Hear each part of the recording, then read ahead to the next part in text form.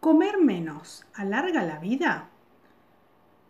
Sabíamos que en unas cuantas especies animales los individuos viven más y con mejor salud si se les reduce la ingesta de alimentos. ¿Se aplica esto a los seres humanos también? Es una pregunta para la que no acabamos de tener respuesta, pero una investigación publicada el año pasado en la revista Cell Metabolism aporta algunas claves del mecanismo que permitiría que la llamada restricción calórica pudiera alargar nuestra vida. En el estudio se limitó la ingestión de alimentos a 34 personas de ambos sexos. Otras 19 mantuvieron sus hábitos alimenticios y se les monitorizó para que sirvieran de control.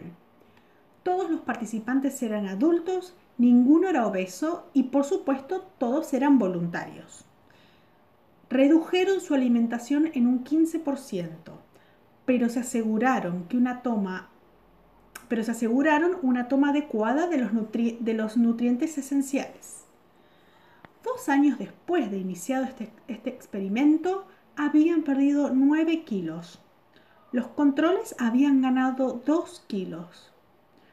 Junto con la pérdida de peso, los individuos sometidos voluntariamente a la restricción calórica experimentaron también una importante reducción del gasto metabólico.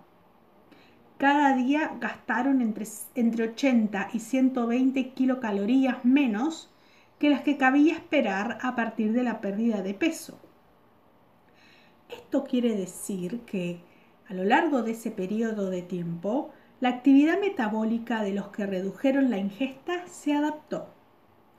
En otras palabras, se redujo, se redujo a niveles inferiores a los previos al experimento. Esta adaptación metabólica vino acompañada por por una, bajada en la actividad de las hormonas tiroideas, que son las principales encargadas de regular el metabolismo.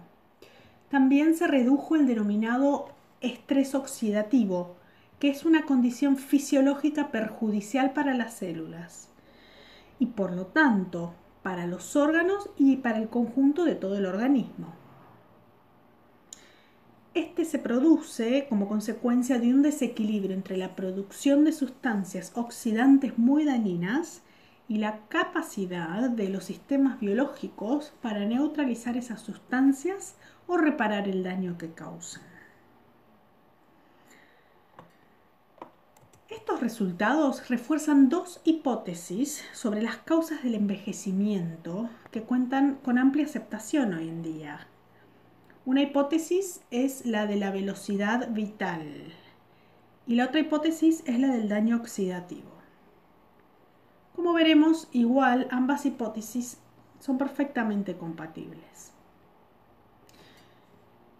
De acuerdo con la hipótesis de la velocidad vital, formulada hace cerca de un siglo, la longevidad es inversamente proporcional a la tasa metabólica de un individuo.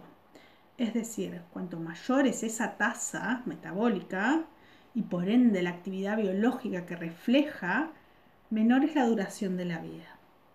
Según la segunda hipótesis, que es la hipótesis del daño oxidativo, Em, el responsable del acortamiento de la vida sería el daño que causa el estrés oxidativo del ADN, de las proteínas y de las macromoléculas en el organismo.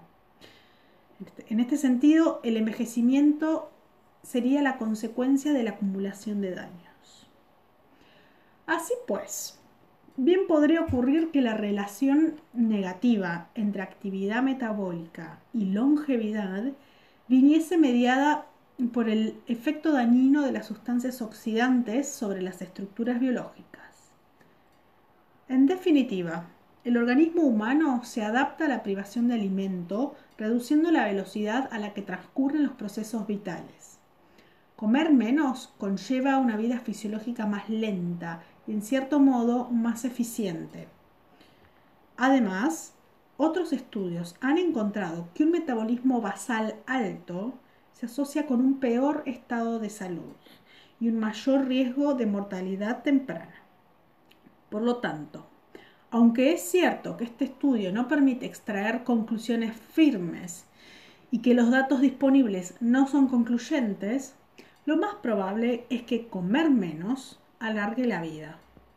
Eso sí, de lo que podemos estar seguros es de que no nos la haría para hacer parecer eterna.